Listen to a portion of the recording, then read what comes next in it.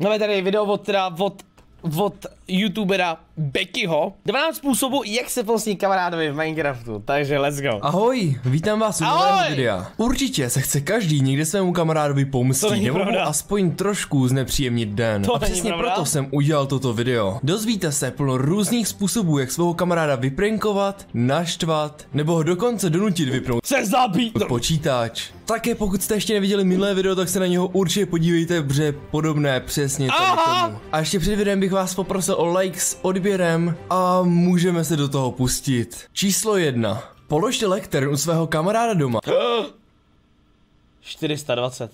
Za něj položte redstone contraption a na ten napojte samotný redstone, který bude směrovat pod kamarádův domov. Zde můžete položit libovolný počet TNTček a v podstatě máte celou No věc jo. hotovou. Teď už stačí napsat knížku, která bude říkat, že jste vážně naštvaní, ať kamarád nelistuje dál. Ten si ale nedá říct, dočte Becky celou knížku až do konce i přes všechny upozornění, ale to ještě neví, že tím zapálí všechny TNTčka, které se pod ním schovávali a odbouchne si celý svůj dům. Výhoda je taková, že na vás nic nemůže říct, jelikož Musím počkat na nějaký, na nějaký, na nějaký ten, vole, nějaký trik, kterým potopím totálně potme na ochu.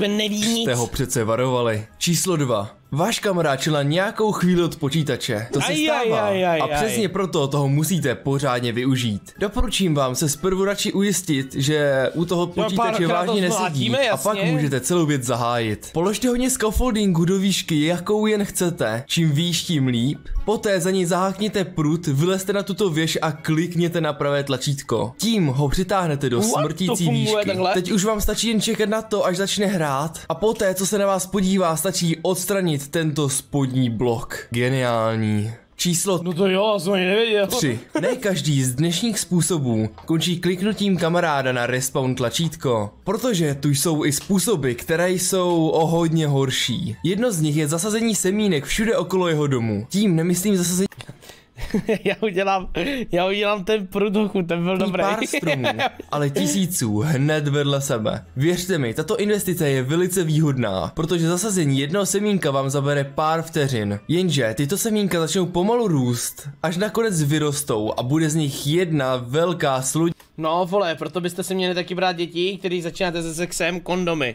Masa stromů vedle sebe, mezi kterými Semínka jednou vyrostou. nenajdete ani původní Oh, dům s kamarádem. Ten, když se napojí do hry, uvidí okolo sebe pouze tohle. Bude totálně zmatený a bude si muset vykopat velkou cestu ven. Navíc sklidit všechny tyto stromy zabere opravdu dlouho času. A nejlepší na tom je, že ani nebude vědět, kdo mu toto všechno udělal. Číslo 4. Každý z nás určitě zná vajíčka. Ty ale často vůbec nevyužijeme. A přesně proto jsem sem zaradil tento tip. Vezměte si jich co nejvíce a házejte je Kámo, to dělal tehdy ten, vole.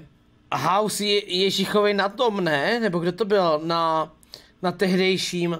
Pedro na House, Pedro na House, ano, ano, jo, jo, jo, jo, jo. Na tom, co to bylo, jak se to jmenovalo, kurva, ten server? Minuj, vole. Že jo, no to bylo po píči, ochu. všude, kde vás to jen napadne. Myslím si, že masa slepic To mě zajímalo, jak tam dlouho sbíral. v kamarádovým baráku by ho mohla opravdu naštvat. Ale pokud se vám toto zdá nic moc a chcete udělat něco zákeřnějšího, tak přesně pro vás je tato rada. Určitě všichni znáte staré dobré slepičí UFO, které uděláte tak, že naspawnujete co nejvíce slepic na jedno místo. Podkopete pod nima blok a tada, slepičí bomba je na světě. Tu už jen stačí spustit na kamaráda v moment, kdy si ji všimne a má o Kamo, jak jsem to... zábavu No, postaráno. vole, Číslo ne, ne, 5. Tento typ je můj nejoblíbenější, tak pozorně poslouchejte. Vezměte si pořádné množství scaffoldingů a ty dejte na sebe, aby dosahovali co největší výšky. Dostaňte se na Kámo, teď mi to něco připomnělo, tady to úplně, tady ta láva, vole. Hlavně ty pič, svině, co tam zadával. Já už nevím, jestli to znáte. Postcaret. Beky, díky moc, krát 150 korun, bro, díky moc, díky, Niko, neboj, neboj se, neboj se, neboj se, bro. Neboj se, já ty vole, tohle to je úplně... Červený. Uh... Počkej, kde to je, ty vole, já bych jsem chtěl ty, vole. S lávou, hochu. Dej mi.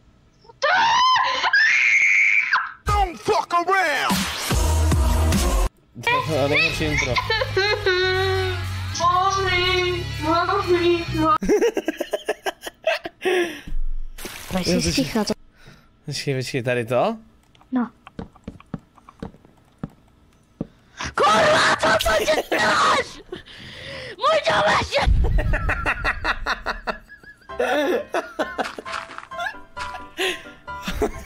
Nejvíce má domeček, co dokážu.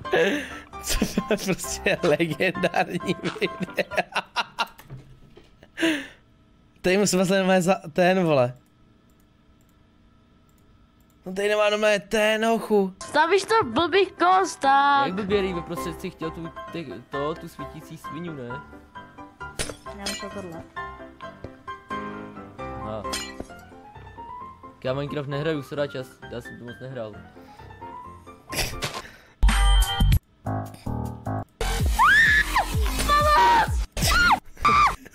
Co ty? Co to?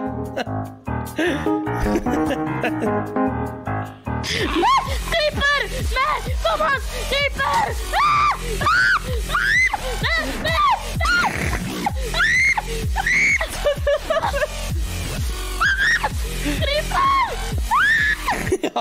To je geniální videa.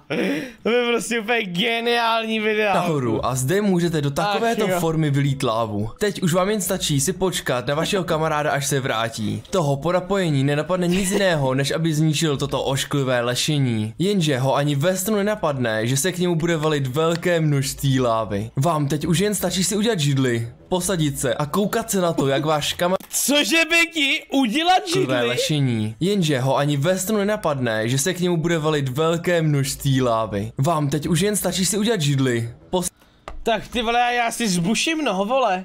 Tak já tady prostě nějak zbuším tu židli, jako co asi jiného mám dělat? posadit se a koukat se na to, jak váš kamarád panikaří s jediným účelem, kterým je záchrana domu. Nebude vědět, co má dělat a jak tomu všemu zamezit, jenže láva se najednou dostane do jeho domu a v ten moment se může se všemi věcmi rozloučit. Kdyby se toto stejné stalo mně, tak bych se vykašlal na celý barák a jen si obystavil čestky kamenem, abych nepřišel o moje důležité věci, jelikož barák můžete lehce nahradit, ale věci ne.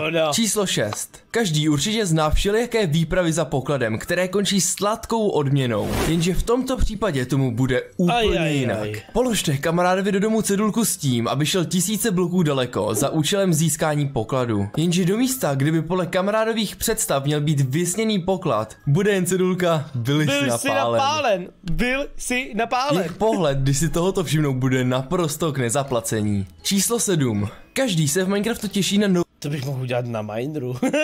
Jakože ale real. Jakože... nové updaty, vylepšení a celkově na všechno nové, co sebou nové verze přinášejí. Jenže toho se dá taky dokonale zneužít. Běžte do domu kamaráda a najděte místo, kde skladuje všechny potraviny. Zapamatujte si jejich konkrétní počet. Vezměte si Rotten Flash a pojmenujte ho stejně jako jejich jídlo. Takže vyměníte třeba bread, chleba za rotten bread a tak dále, přesně v samém počtu. Poté vám jen stačí celý příbytek opustit a bude to z vaší strany všechno. O pár hodin později, když někdo napíše do chatu, proč je moje jídlo schnilé, tak stačí jen napsat, že je to část updateu, který přišel s novou verzí 1.17. Kámo, to bych napsal já ty debile, vole, takovouhle píčovinu. Šance, že vám kamarádi toto vše uvěří je nadmíru Beky, takhle mě vyprankoval kamarád, no joke. No, tak aspoň nejsem jediný. vysoká, jelikož ze začátku nemá nikdo jediné tušení, co je vše nové a teprve začínají všechno objevovat. Číslo 8. Bo tě bude řvát jak děcko, když ho vytrodíš přesně, kam on to Tohle neví, je velice lehký tip, který můžete udělat, když je váš kamarád AFK a nemá na sobě žádný armor. Vezměte si dispenser, do něj umístěte hlavu a zmáčkněte tlačítko. Teď už jen můžete počítat, jak dlouho bude kamarádovi trvat, než si něčeho takového všimne. Z osobní zkušenosti vám doporučuji použít hlavu dračí, jelikož je ze všech největší. Číslo 9. Vezměte si komposter, který položte na zem. Do něj dávejte co nejvíce věcí do chvíle, než bude celý naplněný pod místo, který leží 3 pixely pod vrchní hranou. Do něj položíte trapdoor a zjistíte, že se nemůžete dostat ven bez toho, aniž byste celou tuto věc zničili. Teď už si jen vezmete svého kamaráda, který je AFK, dotlačte ho do místa, na kterém jste celou věc postavili a zavřete tyto trapdoory. Když se vrátí po dlouhé době ávkování, tak zjistí, že se ven skutečně nemůže dostat. Vy se na celou situaci můžete pouze pousmát a vesele se na něj koukat. Číslo 10. Hodně lidí neví, že si můžete vykraftit respawn Anchor a už vůbec ne, Kámo, to jsem do- nikdy nevyužil, tady tu píčovinu. To jsem nikdy nevyužil, tady tu ho- hovadinu. dokáže. Vypadají přesně takhle a můžete ho najít v Nedru, kde je poměrně užitečný.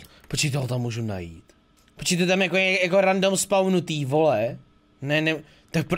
Becky? to item dokáže. Vypadají přesně takhle a můžete ho najít v nedru, kde Becky? Becky? Tady jsou lhavé informace. je poměrně užitečný. Aha, Jenže v. Overworldu se z něho stává extrémně nebezpečný item, který ale vypadá jako jakási vylepšená čestka. Můžete ho vyrobit přesně takhle. Je jednoduchý, ale náročný na získání materiálu. Když si to pak všechno vykraftíte, tak vám ho jen stačí položit do kamarádového domu. Do něj dát glowstone, kterým ho celý aktivujete. A tada, celou věc máte na světě. Teď už stačí počkat jenom do té doby, než na něj kamarád klikne za účelem jeho odstranění, jelikož nechce mít neznámý item ve svém domě. Ale nebude vědět, že to se mi tím líbí, ho vole. pouze jen celý odpálí. Chápu. Číslo 11. Nether portál dělá snad ten nejotravnější zvuk v Minecraftu, jelikož je opravdu hlasitý. Moje rada zní tak, abyste umístili co nejvíce portálů pod zem, které se ale nebudou nacházet moc daleko ten- od toho to dělal, to dělal, normálního, to dělal Marvex? který již zmiňovaný kamarád používá. Ten si po vystavení celé této věci bude jen říkat, jak je to všechno neskutečně otravné a ani ve snu nenapadne, že zatím stojí i něco jiného, jak původní portál. Komu to dělal? Číslo 12. Mentovi, Určitě Mentovi. každý zná Už ten otravný pocit, když jdete po náročném dni plném těžení a stavění lehnout. Aby se ve vašem okolí nespawnovali monstra, píčus, ale no to vám jasně. z nějakého záhadného důvodu nejde.